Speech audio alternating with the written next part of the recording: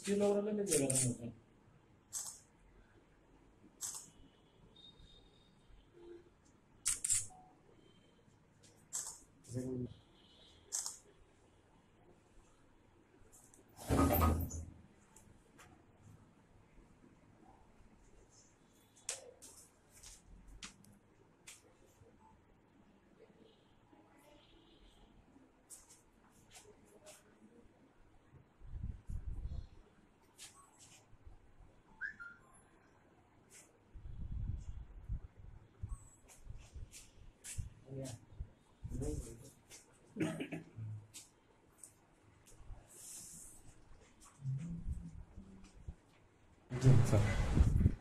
तेरह मई को सिंधिया इचाकुटी में जो एक सुकुमती गगराई नाम की विधवा औरत की हत्या हुई थी उसमें से हम लोगों ने अनुसंधान के क्रम में उनके गाँव के बगल के पड़ोसी के, जगन्नाथ को एक भूतपूर्व रिटायर्ड हवलदार हैं, उनको हिरासत में लेके हम लोग पूछताछ किए तो उसने स्वीकार किया कि हाँ हम लोग भी उसका पत्नी जो है, एक नानी का कोई करके बीमार रहती है, उससे पूर्व उसका भाई भी लंका जो पुलिस में से ही, पुलिस में विभाग में ही थे, उसका भी ब्लड प्रेशर लकवा से उसकी मृत्यु हो गई।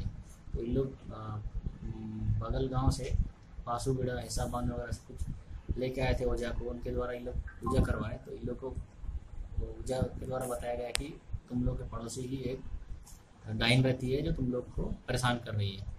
और तुम्हारा भाई भी एक मर गया और धीरे धीरे तुम लोग का बायल बकरी और तुम लोग पूरा परिवार को खा जाएगा। इसी डर से लोग, इन लोगों ने इस तरह का प्लान किया और इसी दौरान, उसी ओझा दोनों ही लोग से जो एक है, अर्जुन सुरीन और दूसरा शंकर को आंसूबेड़ा के, यही दोनों बताए कि हम लोग का उधर पहले इस तरह के काम करते हैं, गाँव में रहते हैं।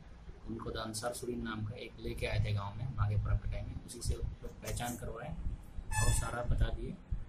लोग का डील हुआ इसके हत्या के बाद में दो लाख रुपया लेंगे। तो उस समय वो लोग पहले एक लाख एक लाख दिए उसके बाद हत्या के बाद दो लाख रुपया। जिस दिन हत्या हुई उस दिन लोग चार लोग आए थे आ, उसके गाँव में ही। उसके बाद रात के तक सो गए। उसी दौरान ये लोग घर में घुस के ये घटना को ये लोग